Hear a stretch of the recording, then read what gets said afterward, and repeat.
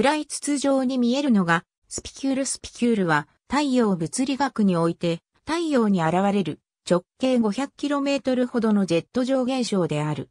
太陽表面の細層に広く偏在し、高級から約秒速 20km の速さで上昇する。高級とコロナをつなぐ基本構造とされる。1877年にバチカン天文台のアンジェロ石器によって発見された。スピキュルは小突起物を意味する。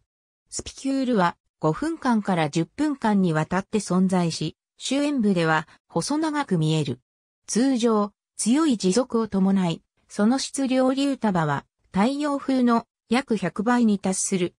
人工衛星による観測などによって微細な部分まで観測できるようになったが、発生機構の構造については未解明な部分が多い。スピキュールは常に太陽上に約6万から7万個が発生している。それぞれのスピキュールは光球から3000から1万キロメートルの高さに達する。ロッキード・マーティン太陽宇宙物理学研究所のバート・デ・ポンチエ及びシェフィールド大学のロバート・アーデライト・スチュワート・ジェームズは2004年に5分間程度の飛信による音波によって太陽の表面が1秒間あたり数百メートルも上下動した結果、スピキュールが発生するという仮説を出した。